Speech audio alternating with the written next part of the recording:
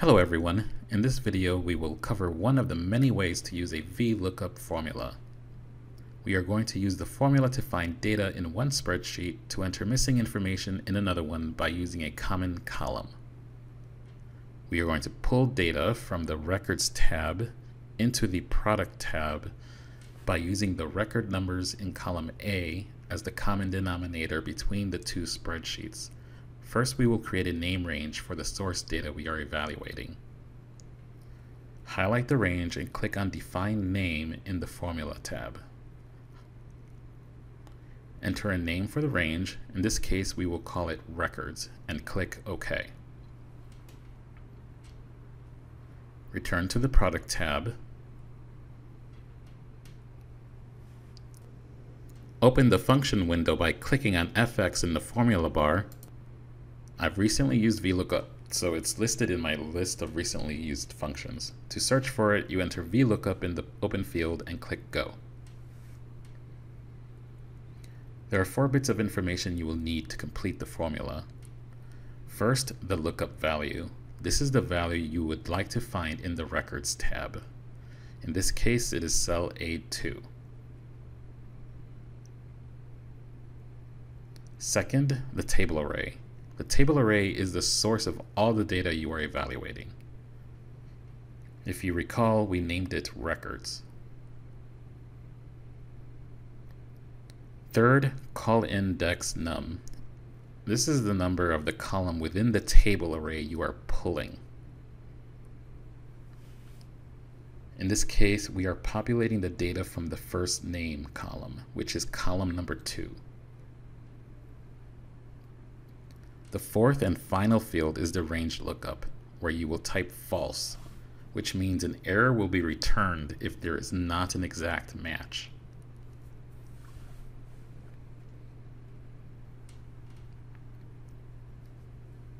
You can quickly fill the rest of the column by dragging the bottom right hand corner of the cell downward.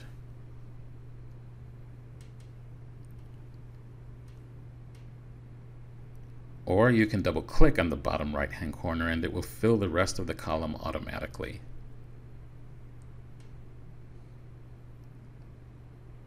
You will notice there are NA error messages where a match was not found. We can change the error message so it's more meaningful by using an IFERROR formula. Let's return to the function bar and enter equals IFERROR before the VLOOKUP formula. Change false to zero, add a comma after the close paren, and enter not found in quotes with an additional close paren.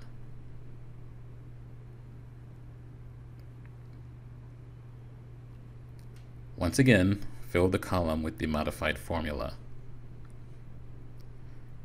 As you can see, the error message was replaced with a more pleasing to the eye, not found.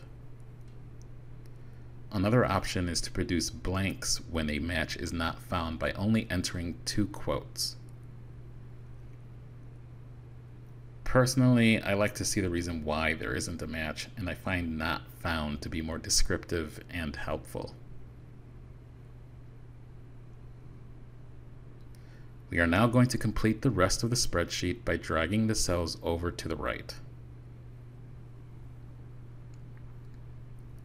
The formula will need to be modified to reflect the proper cell references.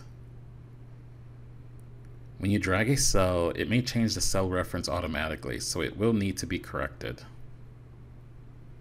In this case, we are changing B2 back to A2, which is the records column containing the common denominator, and we are changing the col index num to number 3 so we can pull in the last name column.